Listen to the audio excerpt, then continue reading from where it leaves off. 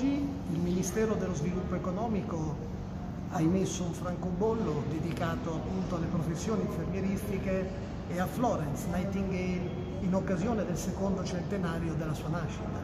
Il francobollo si presenta con una tiratura di 300.000 esemplari ed in esso è raffigurato sullo sfondo di Ponte Vecchio a Firenze il ritratto appunto dell'infermiera Florence Nightingale affiancata dal diagramma relativo alle cause di mortalità che elaborò la Florence Nightingale stessa durante la guerra di Crimea.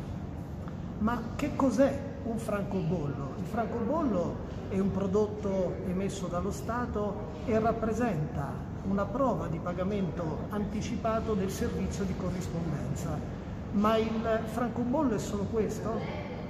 No, il francobollo anche, svolge anche una funzione culturale molto importante, è un omaggio all'importanza della memoria e a tutto ciò che aiuta a consolidarla e conservarla nel tempo. È un modo di rendere attuali eventi e personaggi passati, disegnando per loro un presente che li valorizza ed un futuro che non dimentica.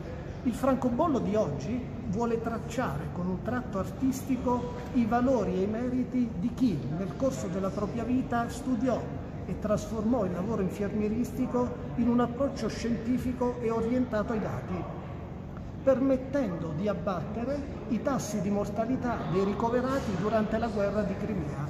Ma questo perché Florence Nightingale coltivò da sempre la convinzione di essere stata chiamata in qualche modo da Dio e di dover dedicare la propria vita ad aiutare le persone più bisognose.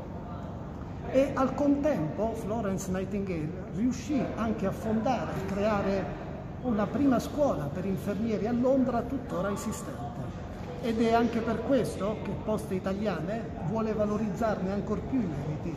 Oltre al francobollo sono previsti tutti i prodotti correlati all'emissione, dalle tessere filateliche, le cartoline annullate primo giorno di emissione, il bollettino illustrativo e soprattutto il nostro fiore all'occhiello, il folder, una raccolta filatelica a tiratura numerata e limitata, costituita nella fattispecie da 2300 esemplari.